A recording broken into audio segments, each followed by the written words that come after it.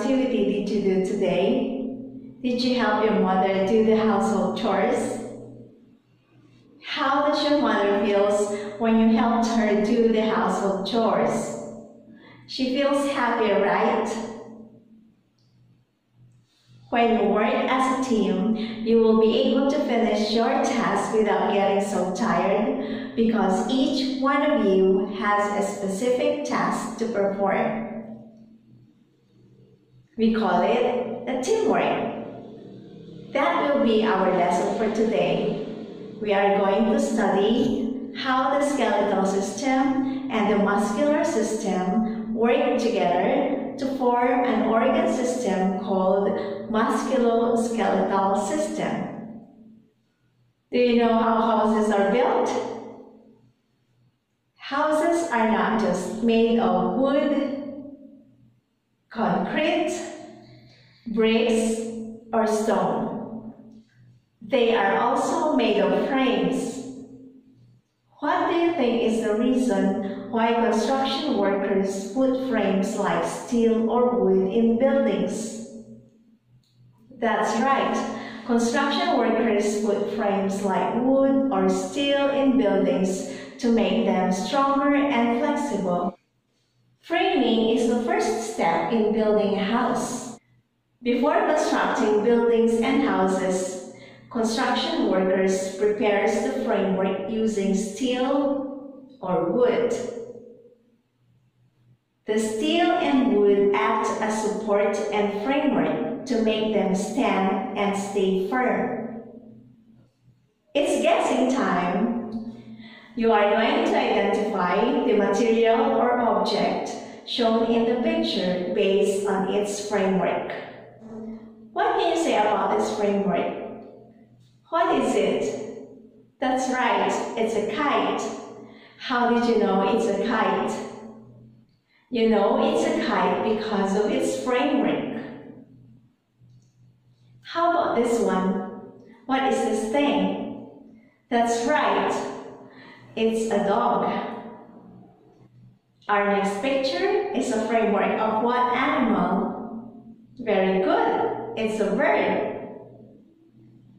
Next, what is this thing? Very good, it's an umbrella. I would like to introduce to you my best friend. He's very healthy. His name is Bonnie. Bonnie is a human skeleton comprises of 206 bones, cartilage, and ligaments. The bones all over our body is called the skeletal system. Its main functions are it gives the body much needed support, it protects the internal organs. It makes the body movement possible. It stores calcium and minerals. It is where millions of blood cells are produced. The skeletal system has two parts. The green-colored bones are called axial skeleton. It comprises the skull, laryngeal skeleton, vertebral column, and thoracic cage. The second structure of the skeletal system is the appendicular skeleton. It comprises the shoulder girdle, the upper limbs, the pelvic girdle, and the lower limbs. Try touching your arms. Do you feel the fleshy stuff that covers your bones? What are they called? They are called muscles. Bones are covered with muscles. Can you imagine yourself without muscles that covers your bones and internal organs? Muscles allow us to move. Although bones are joined in different ways to allow movement, they cannot do so without the help of the muscles that are attached to them. All the muscles all over our body are called muscular system. There are three types of muscles. the skeletal muscles, the cardiac muscles, and the smooth muscles. Skeletal muscles are voluntary muscles that are attached to the skeleton by tough connective tissues called tendons. Many skeletal muscles are attached to the ends of the bones and meet at the joint. Smooth muscle is involuntary muscle found in the hollow organs of the body such as stomach, intestine, and around blood vessels. It is also found in your bladder. When they are relaxed, it allows you to hold in urine until you can get to the bathroom. The muscle that makes up the heart is called cardiac muscle. Just like the smooth muscle, cardiac muscle works all by itself with no help from you.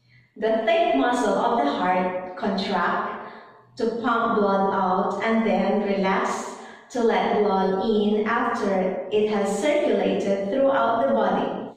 How do the skeletal system and the muscular work together to form an organ system called musculoskeletal system? How does the musculoskeletal system works?